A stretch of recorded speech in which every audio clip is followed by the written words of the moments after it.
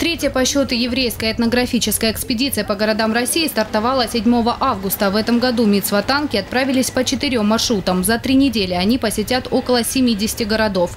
Молодые раввины на этой мобильной синагоге уже побывали в Крыму, Краснодаре и Анапе. Сегодня в Сочи. Сначала остановились в центре курорта на площади у Южного Мола. Здесь они представили священные книги, свитки и другую иудейскую атрибутику.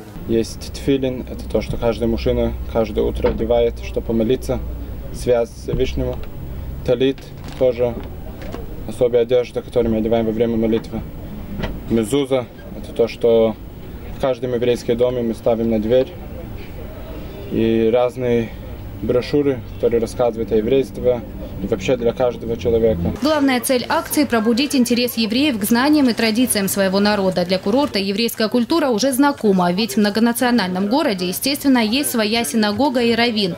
Но нередко встречаются и те, кто еще не знает о религиозных обрядах. Здесь такой выезд идти навстречу, для того, чтобы люди э, знали о своих традициях, о своих праздниках, вообще о жизни еврейской, и в городе, и э, в остальных частях России и мира. Уже завтра этот Мицватанк отправится в Армавир, затем посетит еще 15 городов России. В Москву мобильная синагога вернется 24 августа.